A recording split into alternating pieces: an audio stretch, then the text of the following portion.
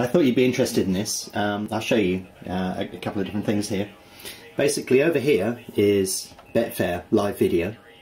Um, over here is BetDAQ live video. Betfair live video you have to place a bet to be able to use, but BetDAQ live video um, is free.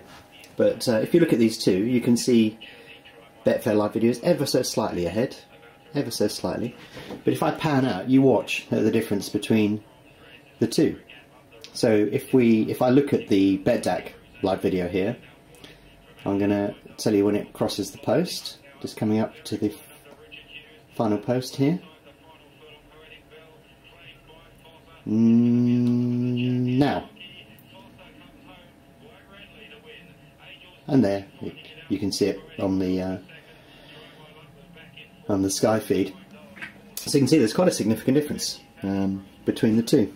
And uh, live video is a pretty useful method now for seeing pretty much live pictures. Now obviously there'll still be a delay there, um, but Betfair Live Video or BetDAQ Live Video, BetDAQ Live Video is free, you don't have to pay anything to use it, you just need a BetDAQ account.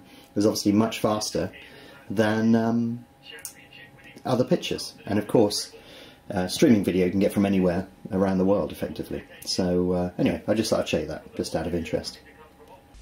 If you're interested in learning more about BetAngel, its tools and the opportunities they present, why not visit betangel.com today to download a free trial.